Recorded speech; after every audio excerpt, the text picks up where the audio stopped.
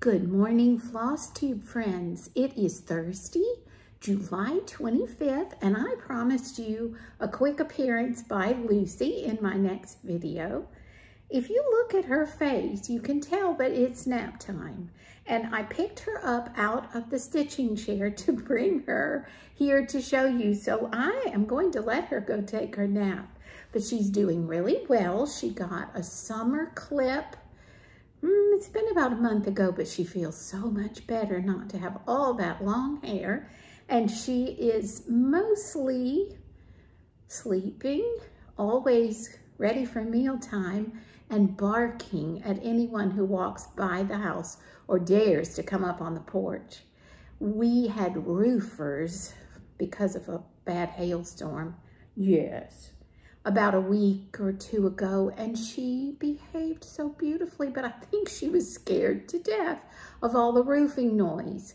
Do you know she only barked one time that whole day when one of the gentlemen walked up on the porch to plug in a piece of equipment and she went crazy.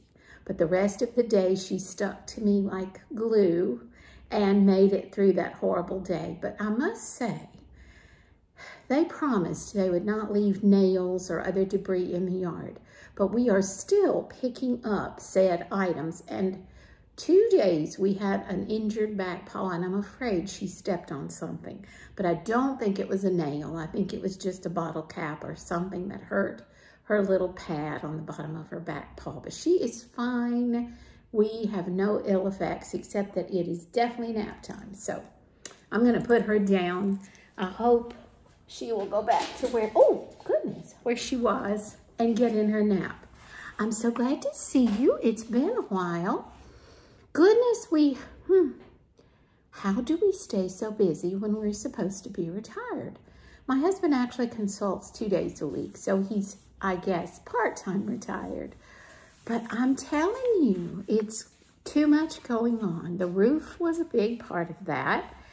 We're still waiting on them to come back and paint where they ripped off flashing, which also ripped off our brand new paint. But they're hopefully going to do that soon. I also spent some time in North Carolina with one of our daughters and her two and a half year old. And then had a good rushed few days with our oldest daughter and her family as they were moving across country.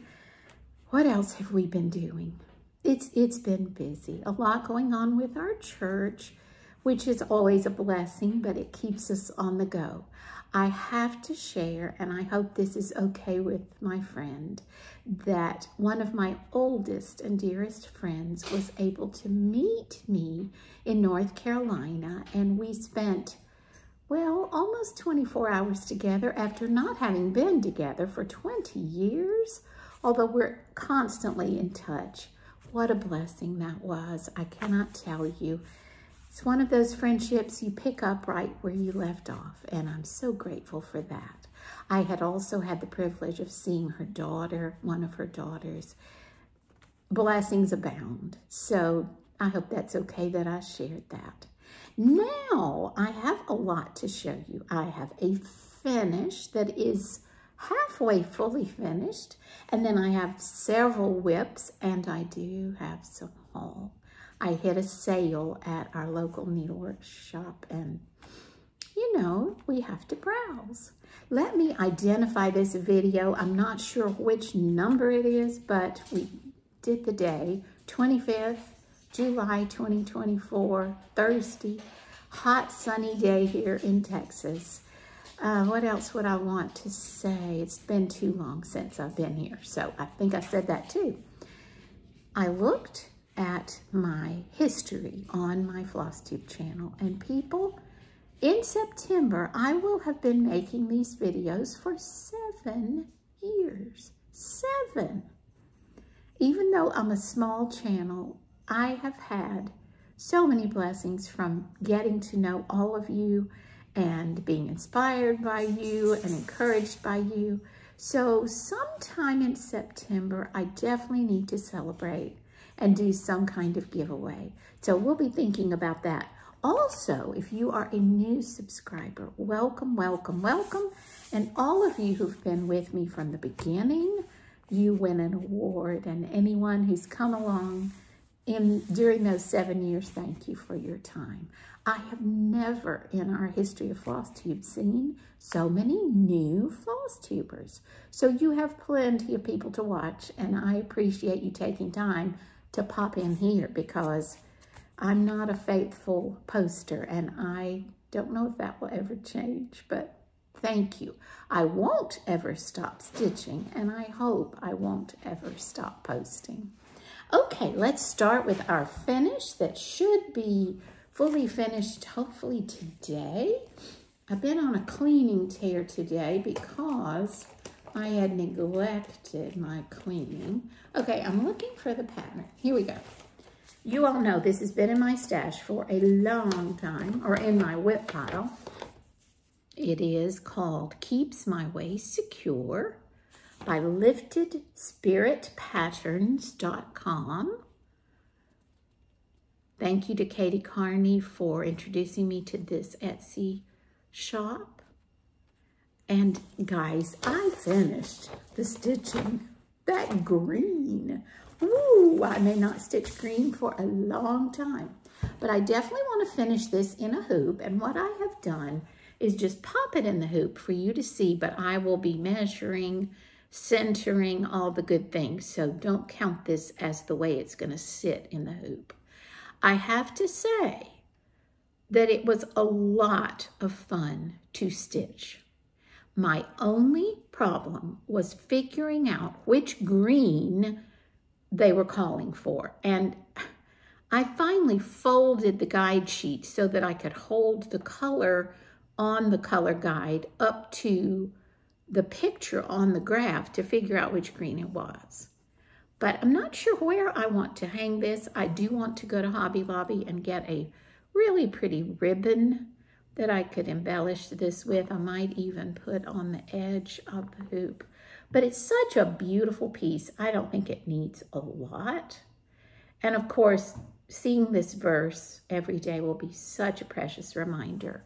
It is God who arms me with strength and keeps my way secure. This is from Psalm 18.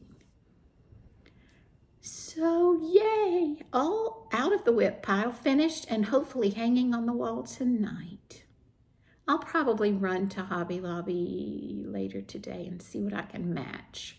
I just did not have a stash of green ribbon. You know, I'm the blue girl. So this is gonna be a sweet reminder. Oh, I do know, do I know what it was stitched on? Yes, I do. This is on 32 count antique white Jobelan, and I've never stitched on Jobelan before.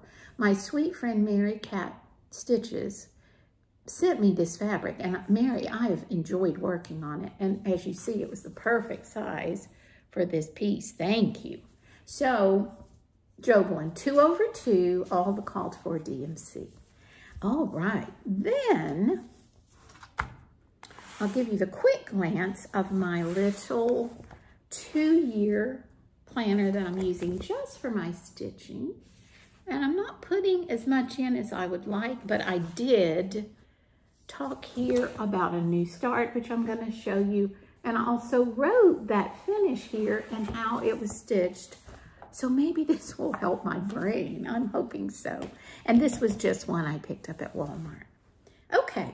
So before my trip to North Carolina, my husband came in and saw me working on this piece that is from Cobweb Designs, a Scottish company, and it is the Claude Monet sampler. And it came just like this, the whole kit with everything you need, anchor floss, Madeira floss, and it had given us 14 count Aida in the, in the kit.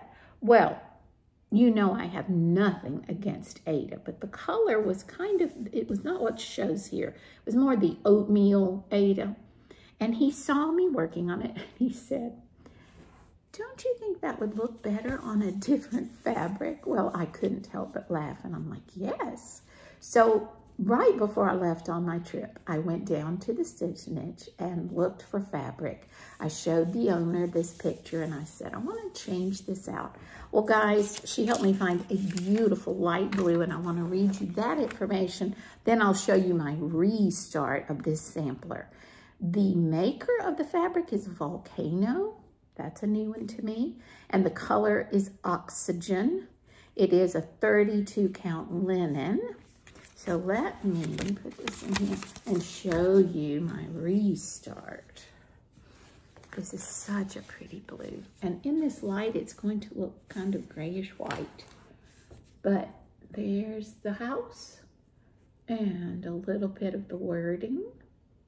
This is really all I got done. I think a little bit on the plane and then I didn't get much stitching done at my daughter's, but is this going to be a fun sampler that I'm really going to try to finish fairly quickly because I love the colors. I've always loved Monet and his home is some place we really want to visit at some point.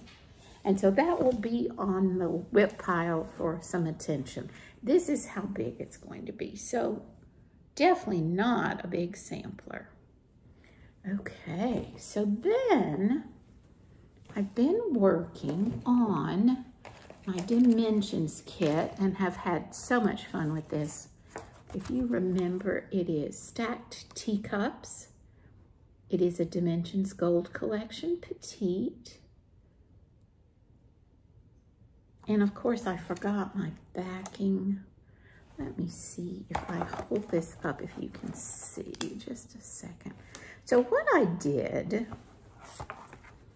was to try to fill in this cup. I still have a lot of stitches to do the second cross on. My eyes crossed after a while with that beige. But I also did a lot more of the blue background. And as I told you, once you get into a rhythm with that, it works fairly quickly. And then I started this at the bottom, which will go under the saucer for the teacup. I haven't spent a lot of time on this, but there's the part under there that I started, and I figured I'd just work back up and meet myself up here. Then I'll need to finish this cup and the greenery and the darling little bird, and of course, keep plugging away on the background. This one is designed by Susan Winget. I think we talked about that in a previous video. I'm not sure if it is the bright, cheerful colors of this piece. I know it's because we love china and little teacups and the floral design, but it's been such a good break when my eyes needed a bigger fabric. And I would commend it to you. I am not having trouble with the dimensions pattern, reading the dimensions pattern. Um, I think if you haven't tried one of their kits, this would be a good one. There's a lot of changing of colors, but it's definitely manageable. So fun, fun times.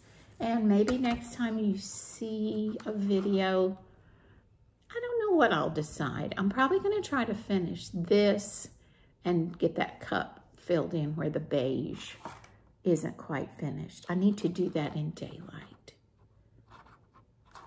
All right. So my focus for a finish, I cannot wait to show you how much progress I've made. This would be my first Hands Across the Sea sampler to finish. I started it this year. It is Rachel Sheard, aged 82. I'm sorry, Rachel Sheard, 1900 aged 82. Could be Rachel Sherd. I'm not sure how that's pronounced. But you can see when we ordered this, we laugh now and say, we thought this was a small sampler. And by some reckoning, it is small, but not really. So I am so close, my friends. Now, you know, I wish I could tell you what fabric this is on. Is it on here? No. It must be on a piece of paper. I'll have to find that for you when I finish it. But here we are. And I'm not to be able to see what you can see. So my project right now is to finish the red inner border here, which is so simple now that it's memorized. So I've gotten this whole side done and that little section there. And of course, see if we can do this. Got the top finished and over halfway, no, almost halfway on that side. Praying, praying, praying it will meet.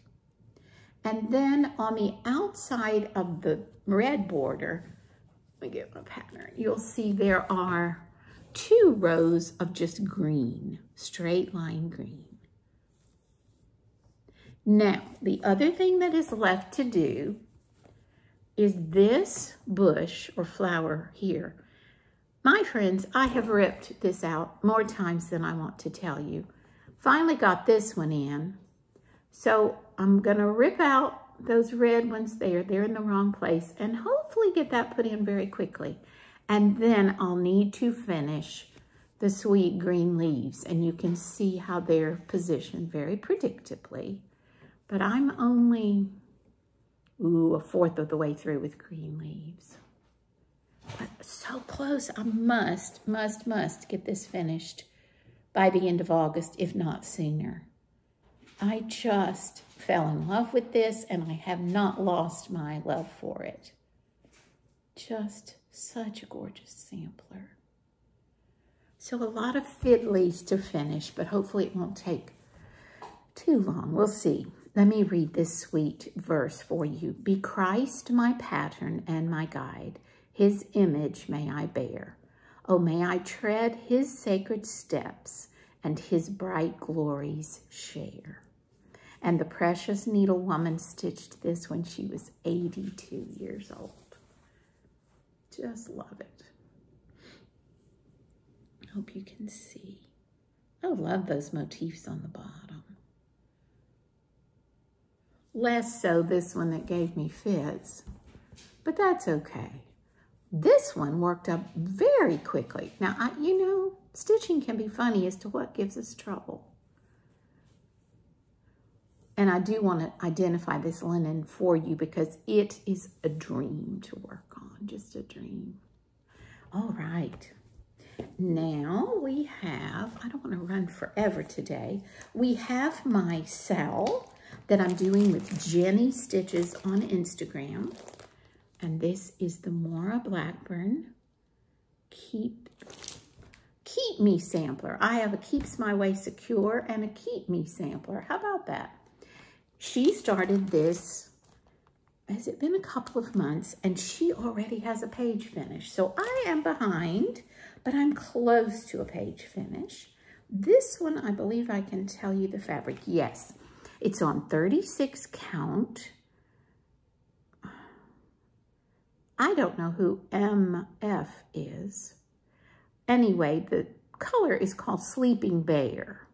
Sometimes I have trouble with my fabrics. But anyway, 36 count Sleeping Bear. Maybe you'll know who that stitching fabric um, dyer is. I do not. So I'm very close to my page finish. I'm not sure where you saw this last, excuse me. So what I need to do is finish over to here, which is going to be the house. As you can see, this is a fence. This border will go down that whole side, so I'll have to do that much of that border. Then I also need to fill in my weeping willow. There are some beige-ish just barely off-white. There's some shading fill in there. Then, of course, we'll have a whole nother half of that beautiful tree. This one I am stitching with the called for, let's see what it is, Weeks Dye Works and DMC. I did get the Weeks Dye Works because they are so beautiful. So I think my goal is to finish the Hands Across the Sea sampler and then try to finish the page on this one. Fun stitching, such a, mm, That sampler is one I've had in my stash for so long that I jumped at her sale because I was so thrilled to have a reason to start it. All right, one more new start. I'm hopelessly, I have start-itis. But this one is a kit my husband gave me years ago for my birthday. And I didn't pull it out to start because it's a DMC kit that is labeled advanced. Not easy, not moderate, but advanced. But again, teapots, teacups, we love all the china. And it's just called Teapots Collection. The reason I pulled it out was that we were visiting my dad back in Mississippi, and that was something else we'd been doing. I forgot about that trip. And I thought I would pull out something that was different that I could work on in the car and it, it was a good car stitch, even though it's on linen. I'm not sure what size linen, but anyway, I have a very small start, but I do want to show you how the DMC kit came because I'm quite impressed with their organization. So you have all kinds of instructions in many languages, and then you have pages and pages of pattern, but you also have this lovely threads guide, which I love, it being a separate page. And so far the pattern has been fairly easy to read. So it is on this white, off-white linen, which is not my favorite, but it's not a bad one and It's fine. And then the floss cards actually came without the knots tied. I don't really understand that because it's so easy for them to fall out if they're not knotted. But I got those knotted in the car pretty easily. Sorry. They're gorgeous colors. And so I'm putting my used threads right up here. It's quite easy to manage. And look at these blues and greens. Oh my goodness. But you can tell how much white there is to stitch and how much gray. So two floss cards and then this linen, and I'm just leaving it in the hoop because I'm being selfish. I was working on it the other night, but you can see it's going to be fairly big. So I have started in the middle, and this is the little, oh my goodness, people, the little blue bird and the big white teapot, and you can see the pink flowers and the green leaves. So I've done just a that little smattering right there. Let me show you. How fun. I can't say why this was good car stitching, but I think mostly because they're blocks of color. And the colors are bright and cheerful. And of course, the bird is going to show up so nicely once I've backstitched.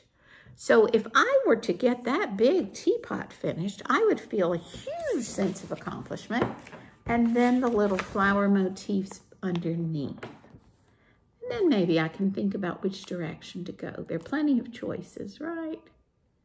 So he was pleased that I had pulled out the kit, and I am quite impressed with the DMC layout and the way they've packaged the kit. Of course, it's DMC floss.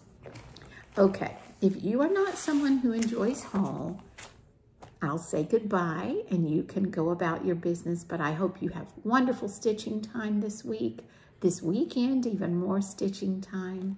And if you are a haul person, we've got quite a few patterns. You saw the fabric I bought, and these patterns were on a $3 table. I don't see patterns for $3 very often. So I bought quite a few. Also, one or two of them may end up in my giveaway for seven years of having a channel, but we'll see what we decide about that. Um, I think that's all I need to say. So goodbye, friends who don't like haul. Please come back to see me, comment, let me know what you're working on. Thank you for spending time with me. For the rest of you, let's have some fun with some haul. This is With Thy Needle and Thread. Mrs. Bun E. Tail. Now, I have not done any of her animals, but I see them all the time, and I have to do this bunny.